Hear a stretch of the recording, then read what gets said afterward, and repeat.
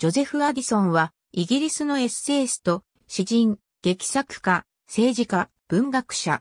ジョゼフは、ジョセフ、アディソンは、アジソンと訳されることもある。ランスロット・アディソンの長男。熱心な保育等の支持者でもあった。聖職者、ランスロット・アディソンと一人目の妻ジェーン・ガルストンの息子として、1672年5月1日にウィルトシャーのミルストンで生まれた。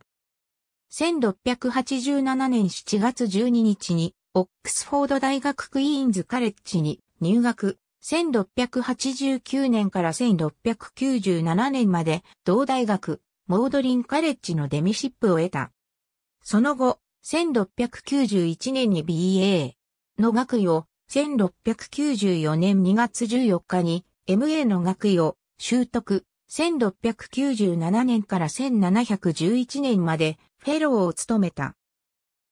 1708年イギリス総選挙でロストウィシエル選挙区から出馬して当選したが、1709年12月に当選無効を宣告された。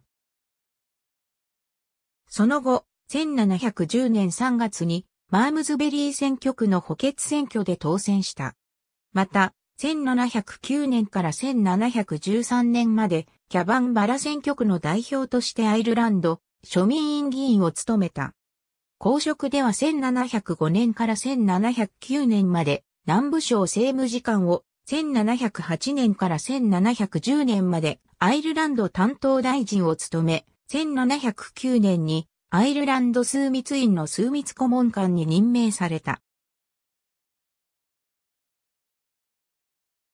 その後、1714年9月から1715年8月までアイルランド担当大臣を再任、1715年12月から1717年7月まで下級商務卿を。1717年4月から1718年3月まで南部担当国務大臣を務め、1717年4月16日にグレートブリテン枢密院の枢密顧問官に任命された。1711年、友人のリチャード・スティールと共に、エッセイ新聞、スペクテーターを創刊する。1716年8月9日に、シャーロット・ミドルトンと結婚、一条を設けた。1719年6月17日に病死した、ジョゼフ・アディソン。ありがとうございます。